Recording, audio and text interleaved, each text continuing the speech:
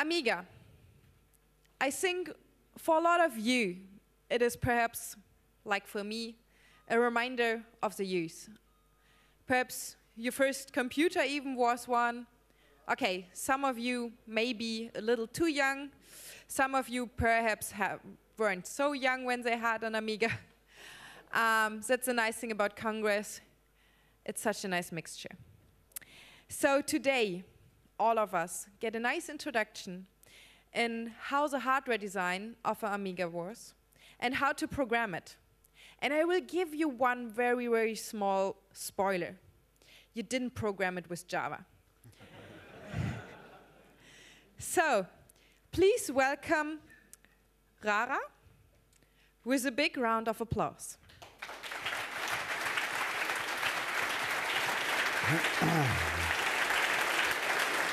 Okay, welcome everybody from my side. Thank you for your nice introduction. Welcome to my vintage talk here. So we're, we're actually going to talk about something that happened roughly about 30 years ago.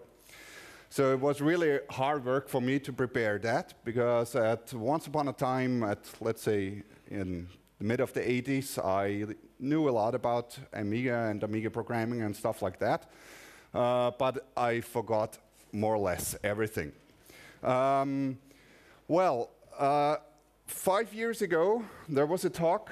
I don't know if it was exactly five years, but a few years ago, there was a talk uh, about uh, the C64 computer. So I think everybody knows that in here. Uh, it was a great talk, and uh, that was the inspiration for me to give a talk about the Amiga computer, but it took some time to, well, launch this. Well, okay, it started like this, okay?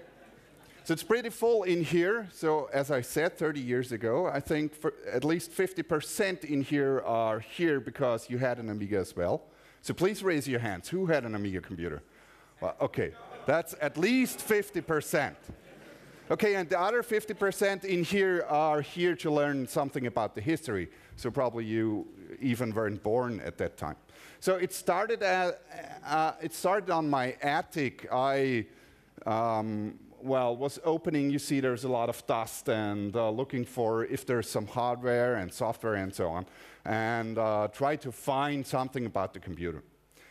Well, and I found a lot. Uh, many thanks to my brothers who delivered uh, some computers to me. So actually one Amiga 500 and Amiga 1000 because my own computers didn't work anymore. I have one also, but it doesn't work. I was unable to, well, launch it. Okay, before we dig into details, I uh, try to uh, show something to you. So in, in, in real, I have here the famous Amiga emulator. Um, you know, it's, uh, it's called UAE. So some people say it's a Unix Amiga emulator, but actually, originally it was called the unusable Amiga emulator. okay, why was it called unusable? Because the hardware was so powerful that in the mid of the 90s, when this emulator was programmed, it was unable to emulate anything in accurate time. Let's say in accurate time. It worked, of course, but very slow. And it even doesn't work on my computer very well. But okay, let's see what happens. So there's a piece of software that I wrote somewhere around 90. Uh, it takes a long time to load because it's a disk drive. It's not a real, it's an emulated disk drive. Everybody knows that.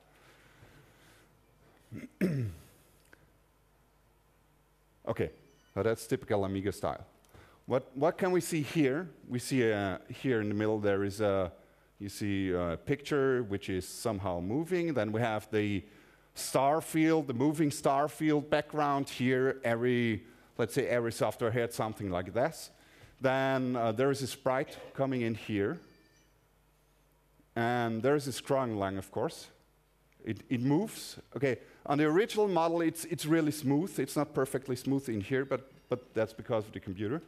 And then we'll see there is a second scrolling line coming up here.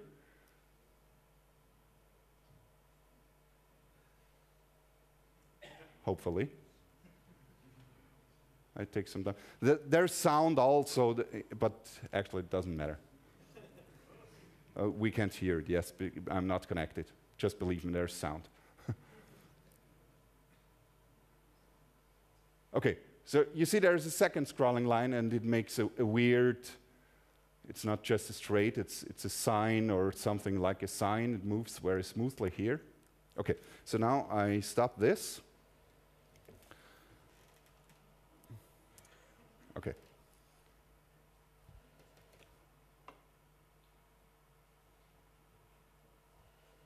Remove that any. Okay, so go here. Okay, so let's continue with this.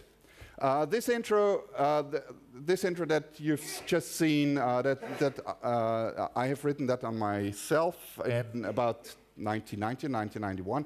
I was member of a cracker and spreader group, Bad Boy, uh, as probably some of you at the time then.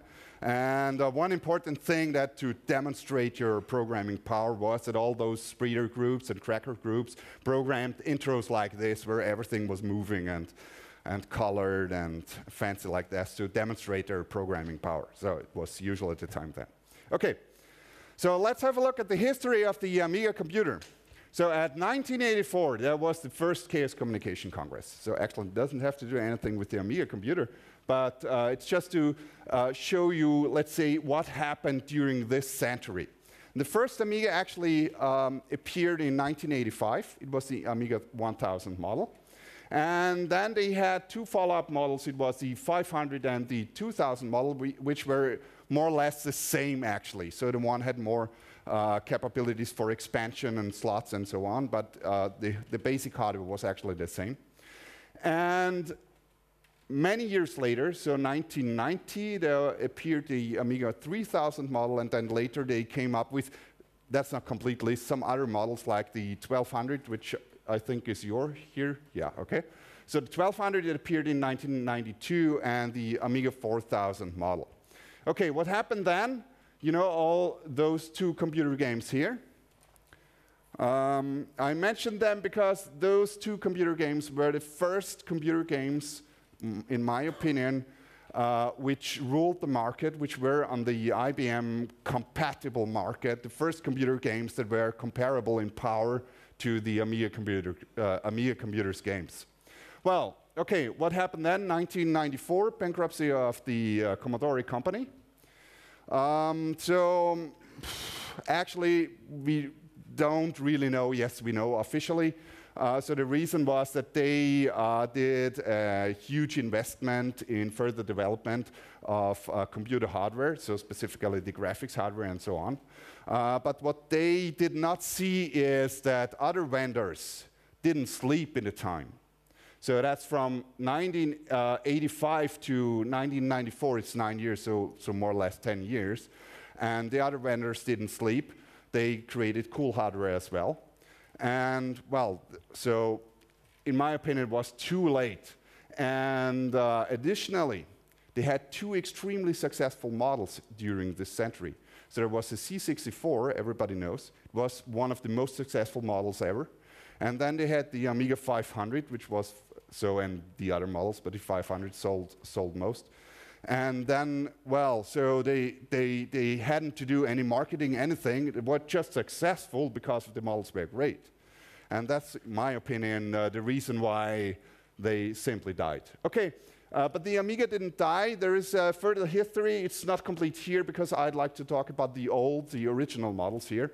So uh, there is uh, the AmigaOne, which is PowerPC based, and it has the Amiga OS 4 version, uh, Amiga operating system version 4, and was further developed by some companies. So here I write Hyperion Entertainment, but it, it, there were several companies involved, and the license was uh, sold from one to the next company and so on. Okay, however, so it's still alive. Uh, the last version of the OS 4 was released, I think, in uh, 2014. Okay, uh, here's the, the primary models, what we have here. So that's the first one, it's the Amiga 1000. Uh, it's a desktop model with uh, a, a, keyboard. Here we have the typical small Amiga 500 all in one package. So keyboard inside, disk drive inside here side, mouse, that's an external uh, disk drive as well here. And this is uh, the larger uh, Amiga 2000 model, so from the hardware base, it's actually the same as the 500. Uh, and, but it came with, you see, uh, second slot for disk drive here, and even you could build in uh, hardware and several other um, uh, additional hardware extensions. Okay, let's talk about competitors. So Amiga was not alone in the market. There were some other models. Of course, that, that's not a complete list, but that's what, what I think it's uh, important to mention.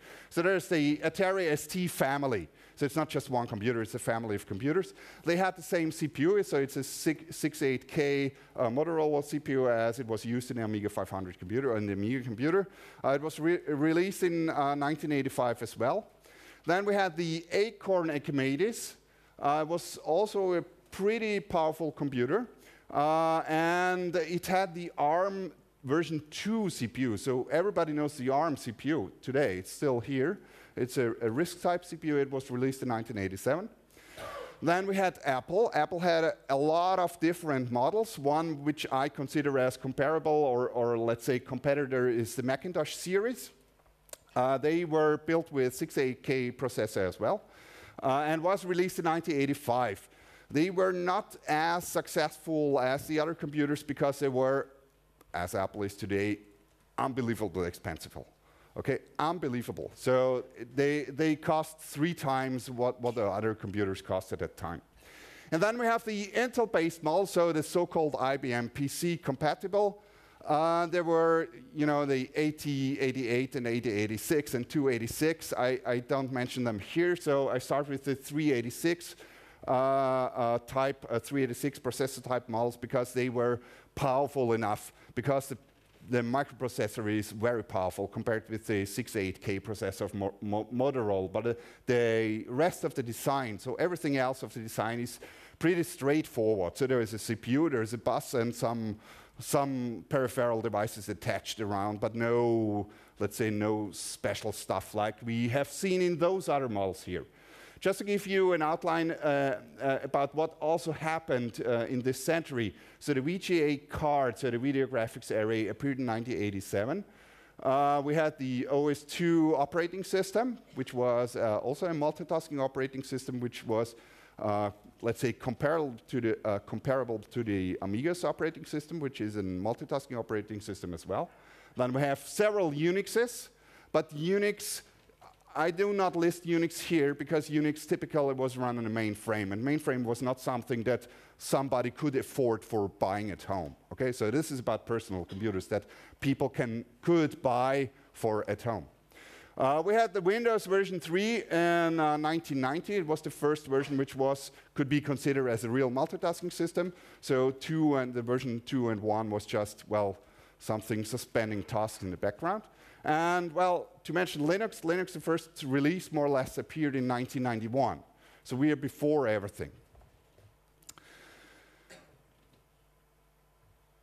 Yes, OS version. So operating system versions of Amiga computer. The first one was um, uh, the 1.x, which were released with the Amiga 1000 and the first models of the 500 and the 2000. That's the original versions. Um, on the Amiga 1000, you had to boot them from disk. On the other models, you could, uh, uh, uh, um, they were built in on a ROM, uh, on a ROM chip, so you just switched on and it was here.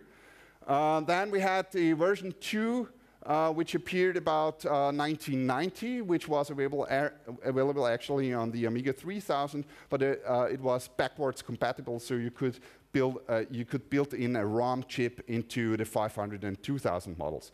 And then there's newer versions, which is, which is still available today. This is the 4.x, so there are some versions around. But uh, as I say here, it's non-Commodore, so uh, under license, some companies uh, further developed uh, those, uh, uh, uh, further developed this, this operating system, which was based on the 3.0 version. Uh, this is also PowerPC based, which is another CPU family, and it's chipset independent. Chipset independent means the Amiga had, I will talk about this later, had a very powerful chipset built in. It was a custom-made chipset, and the operating system depended on this. And the new version, so the, the 4.x uh, operating system was completely independent of this, so you could actually, well, run it on this computer. I don't know if it works, but probably. Okay, there are some books that I found on my attic. Uh, the most important, is this here. You see Amiga hardware reference manual. It tells everything about the hardware. So the hard hardware was open, so, so open in the sense of, so you, you knew the circuit diagrams, everything. It was very well documented.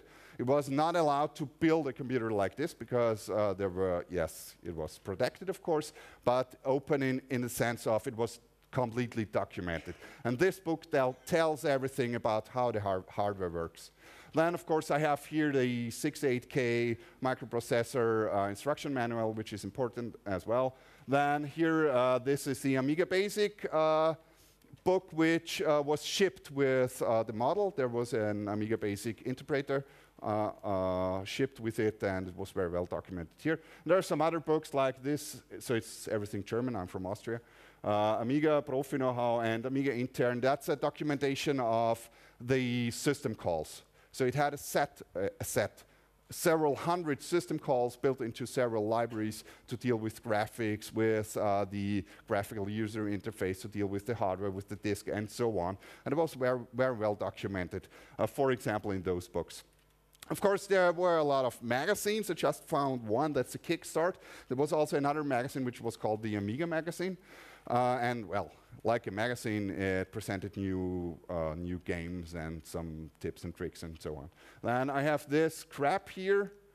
Okay, so my laser pointer is, okay, the floppy puck. Actually, that, that was a piece of crap. Uh, uh, like, like this can here, uh, it suggested to make some jumps into the ROM. So it lists uh, here uh, you can't see this, but that's an assembler listing where it uh, discusses some features that were in the disk library and it suggested to jump into the ROM, which, which, well, you know, if a new version, then the addresses will change and so on. Okay, however, let's have a look at the core components. So what was built into this computer? And the core was a uh, Motorola 68K uh, microprocessor. It was a more or less 32-bit uh, microprocessor in CISC architecture.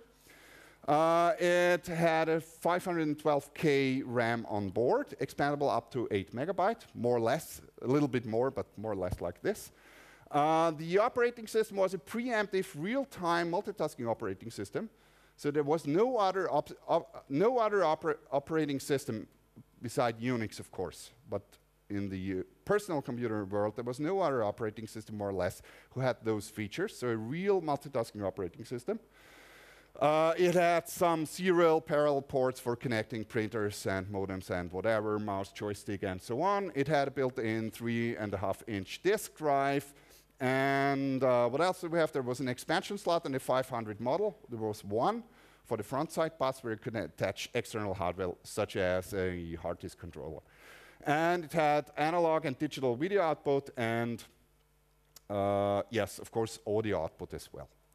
So here we should see now that's the back view of the Amiga 500 model. So what we can see here is a composite video output. It was more or less useless. I don't know why it was here. So it was monochrome only, so black and white. Uh, this is uh, the video output here. So it had analog and digital, so RGB signals here. Uh, that's the connector for uh, the uh, power. Then we have here this drive, parallel port, and serial port, or another order.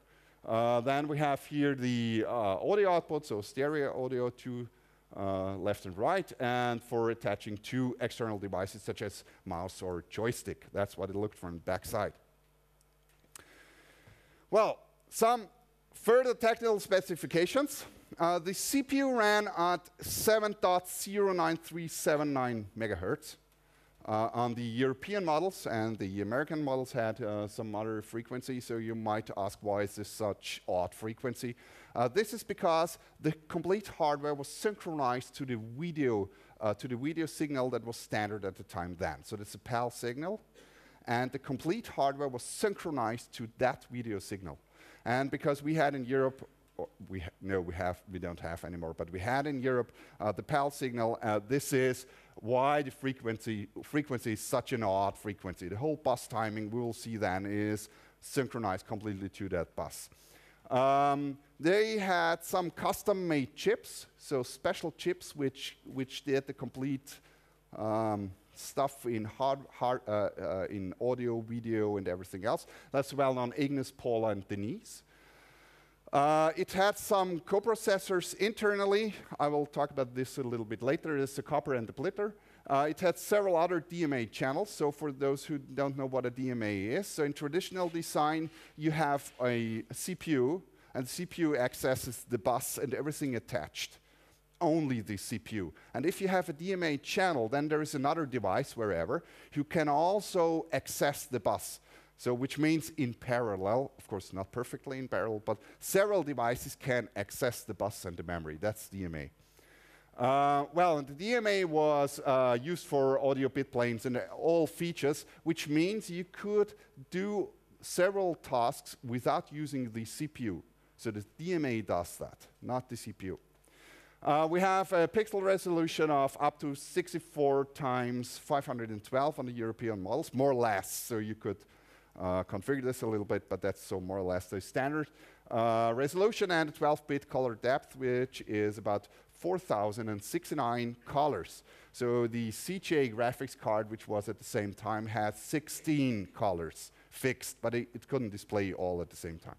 We have four audio channels and well, everything was interrupt controlled, which is nice for software. Okay, about programming languages. So the main programming language was C. Everything was programmed in C. So everything, so the typical software was programmed in C. Of course, if the timing was essential, then we had assembler.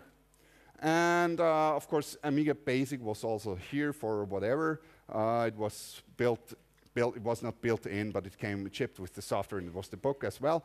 And uh, with uh, the versions 2 uh, and above there was ARexx, so it's Amiga REXX. REXX is a scripting language which uh, was originally developed by IBM and it was implemented in those. So it's, let's say, comparable to Visual Basic or something like that. You could script a lot of stuff with this. Here, that's a typical uh, C header of a function. It looked like this. It's kerning Kernighan and Ritchie, C because, uh, you know, the C89 standard appeared in 1989, so this is before. okay, let's have a look at the CPU. The CPU, the 68K CPU, was one of the most powerful CPUs at that time, and I think that's the reason why it was built in so much computers. It was actually released in 1979, which is pretty early, compared to the other CPU competitors like Intel, for example. They had the 8088, which is a 16-bit CPU with an 8-bit bus, okay? 6-bit uh, opcodes, uh, orthogonal instruction set, which means uh, you could combine any addressing mode with every other addressing mode. So this comes in handy for programming. It's perfect for programming. It's really perfect for programming if you want to program in assembler. Of course, in C you don't see that. Uh, it had 12 different address modes, so register, register, indirect, and memory direct, and so on. Okay. Um, it had a nearly 32-bit ALU, so that's, uh, the, uh, that's the component within the CPU who actually does the operation, so the addition, multipli multiplication, and stuff like that. So nearly is because it was not perfect, but nearly. It had eight registers for data, eight registers for address, including the um, uh, stack pointer, which was the last address uh, uh, register. Of course, it has system status register, as all other CPUs ha have as well. It had a very sophisticated interrupt structure. So 256 different interrupts were possible, not just external hardware interrupts, it also you could define software interrupts uh, which allowed to actually implement um, your own instructions. Uh, and it appeared to have a user and supervisor mode. So that's the first step into real multitasking systems. User and supervisor mode, so it's uh, the uh, CPU operates in the user mode. There is a limited instruction set, and the supervisor mode where you can do everything. And that's necessary if you want to implement real multitasking with uh, the, let's say, prevention that some user land tasks access something else in the kernel, for example. Uh, the same concept was implemented in the Intel world in the 286. I don't know exactly the, the year, but more or less at the same time. Uh, it had externally a 16-bit data bus, and this meant that you always need at least two bus cycles to fetch a whole 32-bit uh, uh word into the CPU. So externally, just 16-bit. And a 24-bit address bus externally, which uh, gives a complete uh, a total address space of 16 megabytes. Well, that's uh, an example for a typical uh, 68K assembler. Well, looks like every other assembler. It's AT&T syntax, which means from left to right. Okay, more or less.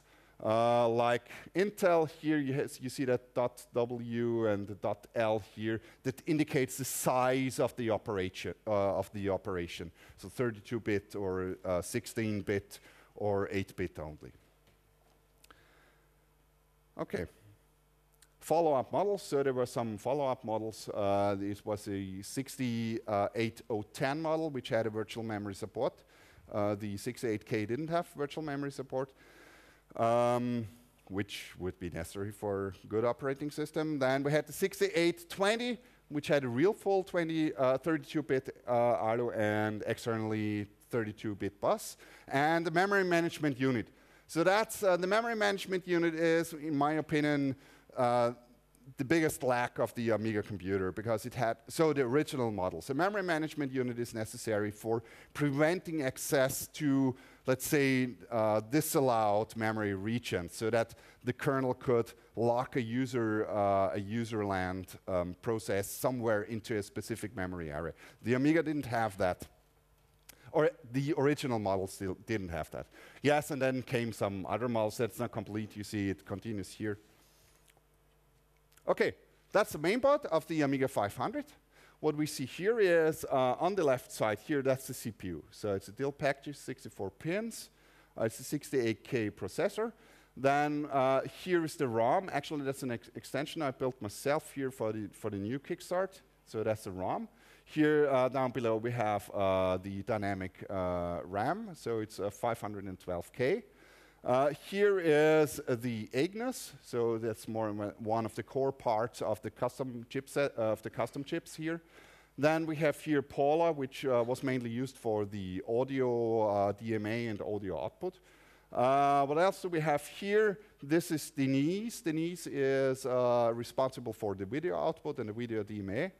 Then we have here what else? This is Gary. So Gary is a, let's say, stupid bus controller. Does the complete bus arbitration uh, for um, uh, communication between those chips.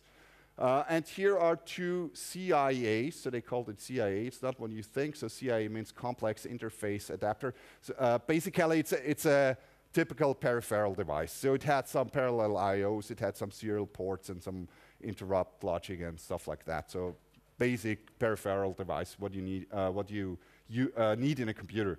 This is the disk drive. Well, yes, and here's the, the connectors where I've shown you the picture before from the back side. Uh, yes, that's, uh, that's a two megabyte extension. So one step back, here is a connector. You see, you could plug in here something. It's the internal connector. Uh, for example, this here, so that's a two megabyte internal uh, RAM extension. So actually it's 1.8 megabyte. You will see then why. Uh, slow RAM, okay, we'll see why it's slow RAM. Uh, this, is, this was about 200 euros, so 25 years ago, for two megabytes, okay?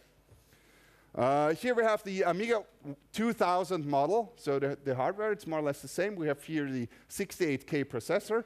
Here, uh, here's the RAM. Uh, there we have the Gary. Uh, and here we have the, uh, uh, sorry, here's the RAM. And here is I don't know. One is Gary, and then we have Denise and Paula. Here, the two CIAs. This is this was called Buster. So it was a specific device which controlled here uh, the extension boards. Although the real Amiga extension boards are these here, the, the lower one. So, okay, doesn't work. I go here. So the, these one are called Zorro slots, so they, they, were connected to the bus of the Amiga computer. And those slots here are ISA slots, 16 and 8-bit ISA slots. So you could insert a bridge card, which had a, for example, a 286 uh, a CPU on board, and then you could add uh, standard IBM compatible cards in here into the other ISA slots. They were just connected. There was no connection to the rest of the system. Here we had a slot for a coprocessor like a floating point unit. And on this side here is another connector. Uh, it was a connection to the video hardware, and it allowed to add a specific video card. Uh, with which you could synchronize the board, so the whole Amiga board, to the external uh, video clock. And what you could do with this is mixing, uh, mixing, uh, mixing video signals. Okay. Uh, yeah, okay. There's a SCSI controller. Okay. So here I have a hardware block diagram. It looked like this.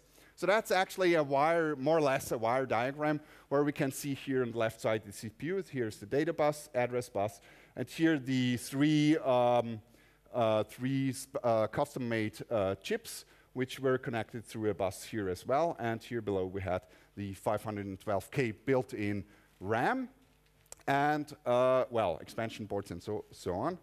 Uh, but what's more interesting is this here, that's a functional block diagram. So this actually shows uh, here on the left side the CPU, and this is what we today call the front side bus. So that's the actual CPU bus, it's the data and the address bus. Directly connected, we had the two CIAs for the uh, you know, serial ports and so on. Here's the kickstart, so that's, that's a ROM, which, uh, uh, which had uh, the uh, operating system in it. Uh, here the connection to the expansion, connect, expansion connectors for external hardware. And here in between there is bus arbitration, so let's say some logic. And on the right side here, we see the chips. So the custom-made chips, it's Agnus, Paula, and Denise. And what they actually did is they built actually two computers into one, uh, into one motherboard. And they were completely separated by this bus logic here. So this was the custom chips, which had their own bus. They uh, could communicate to each other and, of course, access the what was called the chip RAM. It was called chip RAM because the chips, the custom-made chips, could access the chip RAM and was completely separated from uh, the CPU on the other side. The 68K CPU had uh, connectors for external bus arbitration. That means it was possible that other devices outside could access the bus, which was necessary for the DMA, of course. Okay? So if the CPU here, so the 68K CPU, wanted to access this memory, it had to request this, so go to the bus arbiter and say, I'd like to access the bus now. And the bus, uh, the bus arbiter could say yes or no, okay? And, and that's actually so, so what, what the power of the computer made. So we had the custom chips, which were a computer for themselves, okay? And they hadn't to wait for the CPU or whatever. Okay, this is the memory map of the Amiga computer. Uh, we, had, uh, we have a total of uh, 16 megabytes. So that's a 24-bit, uh, that's a 24-bit address here. So uh, here on top, so at the, at the lowest addresses, we have here the chip RAM. So this is the RAM that you've seen before where the chips can access. New models could access the next 512K, so that's one megabyte. And even newer models, so with the ECS, so there was the bit, big fat Agnus and the ECS Agnus, however, uh, could even access in total two megabytes of memory. The chips could access this. So on the previous diagram, that's the, the chips is that what's on the right side. Then here is a whole of eight megabyte auto config space. Uh, that means that's uh, a memory space which was uh, dedicated to the extension hardware. Okay? And as the previous diagram showed, the chips couldn't access that. Uh, then we have some, the, the CIAs here. And this is, this here is uh, internal expansion slot 1.5 and 256K. That was, so I show you this again, here. That's here. It was on the internal bus of the chips. And the memory, so, so the address allocation was done in that way, however, and that's why uh, the actually the internal memory expansion just had 1.8 uh, megabytes here because the other addresses were reserved for something else. Okay, then at, at the end of the memory we had uh, 256k ROM for the uh, version one of the operating system and the new operating system, so two and up to two, up to version uh, above version 2, we had another 250, so 512 in total. okay, have a look at the custom chips. They had some special function registers where you could control them. Uh, mainly, they did the interrupt control of everything here and the bus control. So all chips together. Okay. The bus control means controlling who accesses the bus, because always just a single device can access the bus. So those control this. Uh, there was the bit plane, the audio disk DMA in here, and the Blitter and the copper, so which were special, special processors, um, well, which I will explain immediately. So the bit plane DMA is the DMA which is uh, responsible for displaying whatever, something, okay? Uh, it had several resolutions here, so 200, uh, uh, 320 to 640 times 512, so that were more or less the standard uh, resolutions. Uh, you could have up to six bit planes, and the bit planes actually selected uh, the colors. So the colors were not stored like it is today in a PNG or in a mo modern graphics card directly, so the bit planes uh, were decoded a color register, and the color register then holds the col color actually. So, and within the color register, you could uh, define the color. So it's three times four bits, so which makes up uh, um, 4,096 total uh, colors.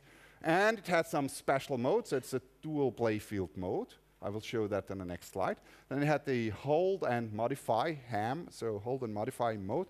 Uh, with this mode, you could display uh, all colors at the same time. And a rarely used half-bright mode where it could uh, display 64 uh, colors at once, so at the same time. Here you can see how the bit planes work. So the bit planes is a, a memory regions, just memory regions containing the bits for one bit. Okay? Of course, memory is byte-oriented, not bit-oriented, uh, so one byte always contains eight bits.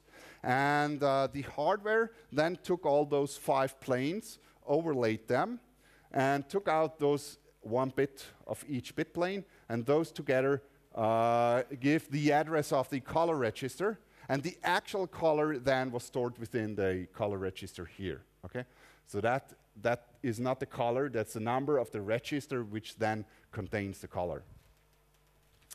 Here we have the dual playfield mode. So in the dual playfield mode, the hardware combined two separate playfields, which means you had two separate visual objects somewhere, and the hardware combined them like it is shown here. So you had typical uh, gaming, uh, gaming view of whatever here, you have a tank here, whatever. So there's one play field, which is uh, the display where you see everything, and here's the background image, and the hardware then combined both together. And there is a transparent color where uh, the second bit plane was, uh, um, uh, was added from, from the hardware itself, okay?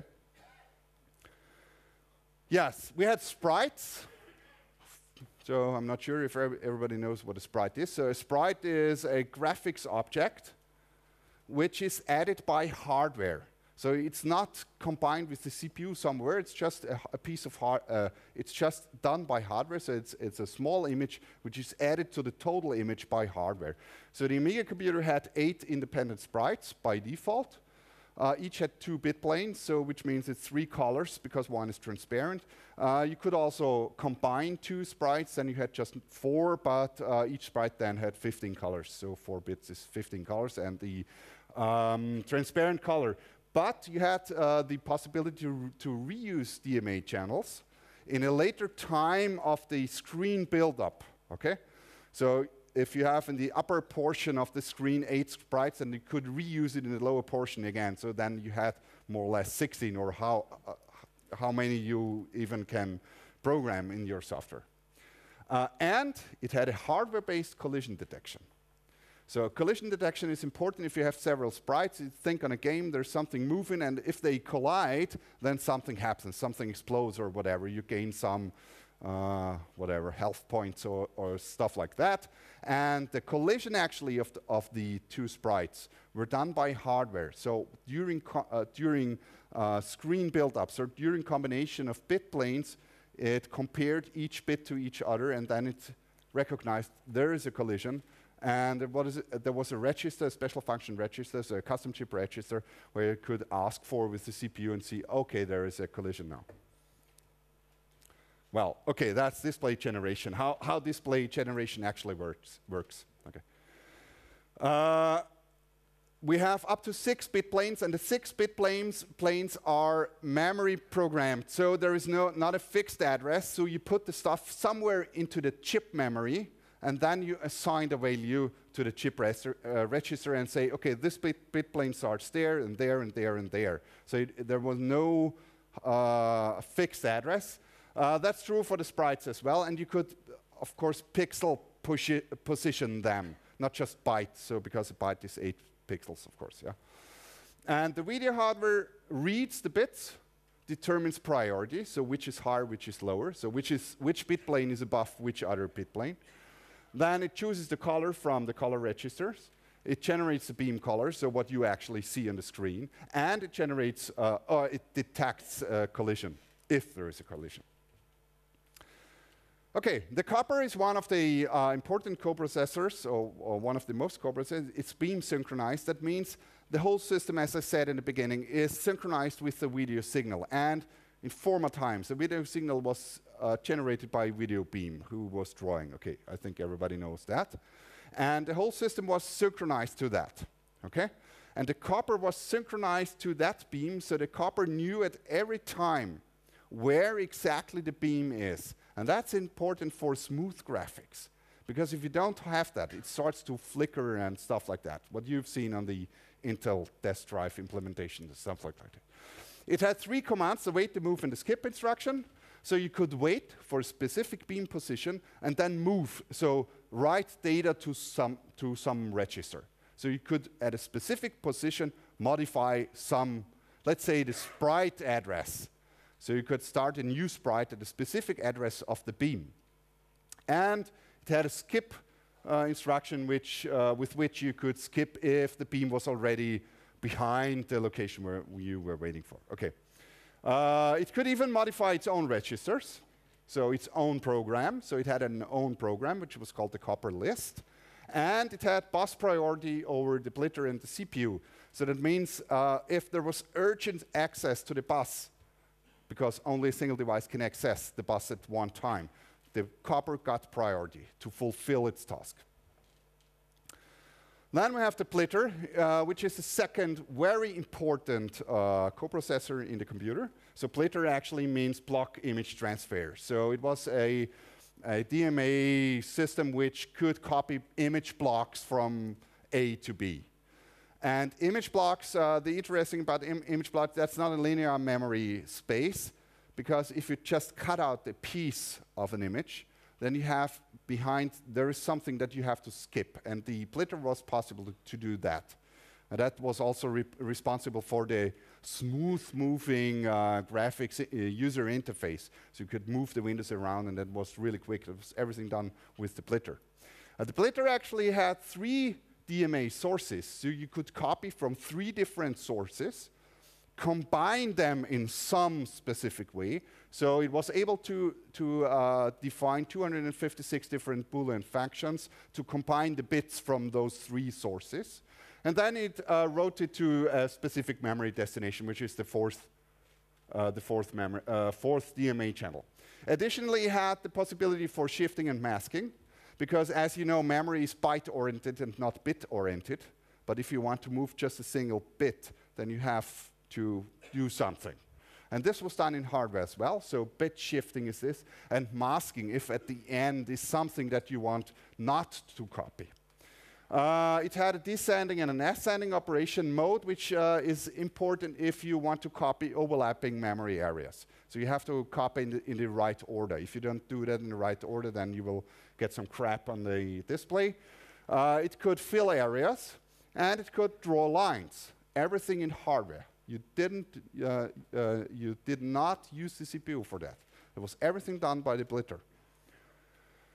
Uh, okay, here's an interesting diagram. That's, uh, that's a bus timing. It looks a little bit weird, I know, but uh, copied this from a book. So this line here is the bus timing, and this, so here that's a continuation of here. Uh, of, of here. Okay? That's a complete bus timing of a horizontal line of the beam on the screen. So not on the screen, so all you have on the screen here also an area where you don't see it. That's a complete bus timing here. What we see here is time slots. So here the, the gray and here and here and here. Every slot is one bus cycle where whatever device could access the bus. Okay? And the timing was here made in such a way that the even cycles, that's here and here, so in between the even cycles. So this, this is an even cycle, and this, and this, and this, was used by the CPU. And this was done in that way because the 68K needed two bus cycles for execution of instruction. And the first cycle, it fetched the instruction, and the second cycle, it did nothing on the bus, it actually executed the instruction. And so, because of that, they combined, so they interleaved it with the hardware that in the second cycle, the hardware was accessing the bus. So the CPU more or less actually didn't see that somebody else is doing something. Okay? But as we can see here, the black uh, here and here and here and here, that's a bit plane DMA. Uh, so we have here the bit planes, 1, 5, 3, and so on. So there are more or less no cycles uh, free for the CPU. So the CPU was locked out from the memory. The CPU had to wait, actually, for the chip RAM. The chip RAM was attached to the custom chips. And because of that, it was called slow RAM. Okay? The slow RAM is because the chips were accessing the bus here for the display, and it couldn't access it anymore, and that's, that's why it's called slow RAM, compared to the fast RAM, which was in this 8 megabyte autoconfig space. The chips hadn't access there, and that why, that's, that's why it was called slow and fast RAM. Okay, audio hardware, uh, it had four independent 8-bit audio channels with about roughly about uh, 28k sampling rate, uh, which gives an audio frequency of about, yeah, let's say 15 kilohertz uh, audio frequency. Uh, and it had additional support for uh, frequency and ampli amplitude modulation, which you can additionally do with those channels. Uh, with those channels, function-based. So you feed one audio channel with the sample, and the second audio channel with the function that modulates the first, uh, the first channel. First channel.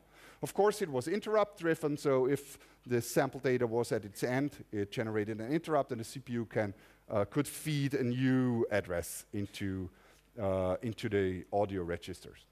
So here a brief interrupt summary. Everything was interrupt, interrupt controlled. And that's nice because the hardware tells you, or you is the CPU, so the hardware tells the CPU if something is to do. So the CPU doesn't have to wait for it. So we have the vertical blank interrupt. That's pretty interesting. That's if the beam is finished with display here in the right uh, lower corner, then it generates an interrupt. And while the beam returns to the left upper corner, there is time for the CPU because during this time, the bitplane DMA isn't doing, doing anything. That's about 4,600, uh, 5,600 cycles. Within these cycles, you could do a lot of stuff. So in the intro that I showed you before, it runs smoothly because most of the control stuff is done during this vertical blank, and everything else is then done by the hardware. Uh, we have the copper interrupt. We could wait for specific uh, beams, the audio interrupt, as I just explained. We have a blitter finished, so if the blitter was ready copying something, there's a disk interrupt. The disk was uh, the disk was also DMA driven, so the data transfer was not done by the CPU. It was done by a DMA channel as well. Uh, the CIAs, of course, generated an interrupt as usual for serial data ready or whatever. And we had here some external interrupts for the expansion ports. Okay, finally, some data about the floppy disk, which was the default, well, storage medium for uh, the Amiga computer. It was a flexible disk controller, so it was not completely fixed hardware, whatever. You could program it in several ways.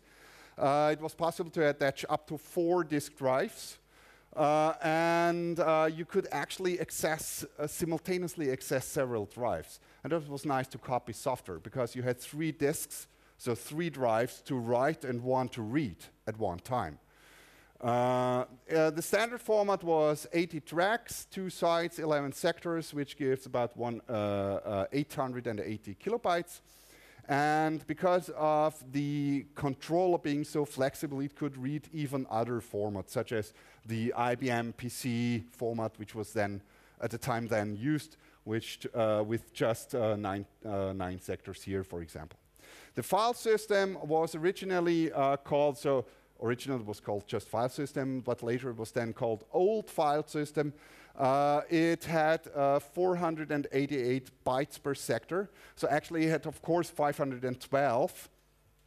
Uh, but 24 at the beginning were used for error checking or stuff like that. So it was well designed for uh, floppy disk drives, which, yes, every, as, as I remember, every third disk was corrupt. Okay. Uh, and then later, uh, they developed the fast file system, which was mainly made for the hard drives, and then they filled up the 24 bytes with data. Uh, so, so you got some additional data to store on the disk drive. Yes, so a brief introduction into the Amiga hardware. Uh, are there any questions? Yeah. Uh, so, uh, sorry, for, for the question, for the question, please go to the mic. Hi. Great, my mic. Oh, now my mic does. So yeah. Am I working? Okay. Uh, I have a question regarding the sprites. You said um, it had uh, hardware sprite collision detection. Yeah. Was that like on the 64 where you only um, knew which sprite was involved in any collisions, or did it also tell you who collided with whom? Uh, something in between. something in between. So uh, it, it combined always two sprites, so you could you, you then had to uh, programmatically uh, find out which sprite it was. But you had four sprites, uh, so you could uh, find out um, in pairs of two which sprite collides to the others. Okay? Okay. Yeah. Any questions?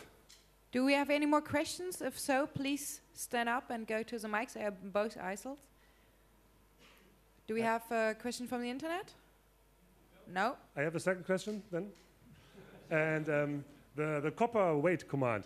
Yeah. Uh, you didn't specify if that could wait for lines or also for um, for horizontal specific beam positions. positions. So you could, could actually wait for here. Oh, so it's not for lines. Y. You could actually, for Cool. specific bit, uh, uh, pixel positions, you could wait.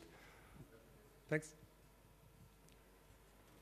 Okay, I think we don't have any more questions, and we are also more or less at the end of our time. So, thank you very much. Thank you it very was really an amazing talk.